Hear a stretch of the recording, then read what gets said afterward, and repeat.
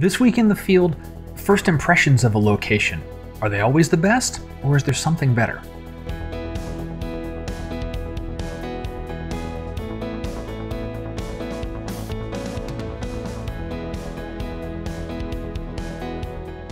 Hi, everyone. I'm Scott Davenport. Welcome to In the Field. Thanks for joining me. Real quickly, in about two weeks, invitations to register for 2018 photo workshops are going out.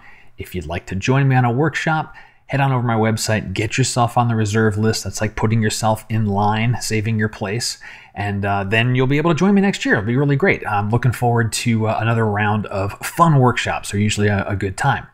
So today's uh, topic is first impressions, and uh, you know, like the old adage, you know, you, you, can never get a second chance to make a first impression.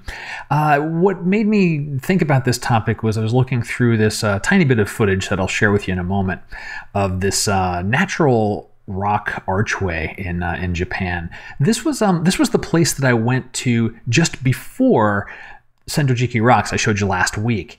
And uh, there were a couple of different compositions I played with. Um, let me show you the footage, and then I'll show you a couple of the compositions that I've done to, uh, to you know, talk about you know, how my uh, perception of the location changed over time. I'm in Shirahama, Japan, in the Wakayama Prefecture, and have hopes for a good sunset tonight. This actually just I'm stopping here on my way to another location. I visited here last night and took some basic shots. A little bit of a nicer sky. I'm to get in uh, a little tighter on this one, something in the 70 millimeter range or so, and do a, do a bit of a sweep, really just focusing on this arched rock. Uh, it, it has a name I cannot recall at the moment, something something island, but uh, it looks great, and with the nice glow off to the northwest, uh, this this should be a nice evening shot. If I wait too much longer, I'll lose the detail on the uh, the side of this island facing me. It's not going to be in in sunlit. So let me get busy, get set up, and then get to my other location for tonight. All right, I'm firing right now. Uh, I am using my polarizer mainly because I needed a filter bracket, and it was the one that I had. I'm using a six stop, and that is so as I do a sweep with the pano and go across from here to here, I'm going to smooth out the water. That's going to make the stitching job a lot easier. Kind of going from about here all the way across to there, minus the, the railing and the guardrail. Setup is straightforward on the tripod mounted vertically, and I'm just up against the seawall here. I came uh, off of the, the ground there, the shore level up here, because I'm only focusing on this interesting island.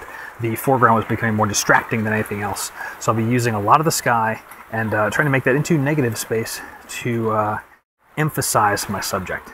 So what's interesting about this uh, this experience to me is that my perception of the scene changed several times, and not just while I was there, also based on some of the processing that I've done after the fact. So, of the, the, the two different types of shots that I took there, one was you know down more at sea level, in and among the rocks. I liked that a lot more compositionally. I had interesting foreground, nice midground, a good glow in the background. Of course, the arched rock there. Uh, but um, because of all of that uh, darker material in the foreground, you know, the, the, the image was, you know, process it in a more moody fashion. So it's, you know, it's dark, maybe even a little ominous. Uh, but then when I did the other shot, you know, which was uh, more of a pano, but really just kind of getting in tighter on the arch itself and really just making the shot about that interesting piece of land and then just the surrounding context.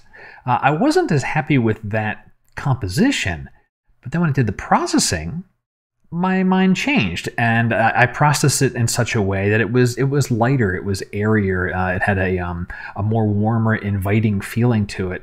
And when I look at the two side by side, uh, I I'm torn. I, on one hand, I look at it from like you know a um, you know a technical compositional perspective and like one, and then I look at it just sitting back and going, hmm, which photo do I like better? Which one makes me happier? Which one makes me want to go there? I, I tend to lean toward the, the the brighter, airier one. And so I suppose the point of all this and the tip of the week is that first impressions can be deceiving and they may or may not always be right, or they might be right for part of the story and not the full story. Uh, it's uh, another reminder to me how ambiguous and subjective photography can be. And I'll bet if I were to go and look at these photos again in six months, or even process them differently, I'll end up with two other photos that you know same same subjects, but uh, with another feeling to them. And you know, time has gone on, and so you know it may be a fonder remembrance as opposed to something that happened a couple of months ago. And that will wrap up this week's in the field short and sweet. If you enjoyed it, let me know somehow. Comments on the video below are great. Uh, social shares are always appreciated. Anytime you tell a friend about this channel and you know say, hey, you know Scott's a good guy, you're getting some value out of this, really appreciate that. And until next time, my name's Scott Davenport, and happy shooting.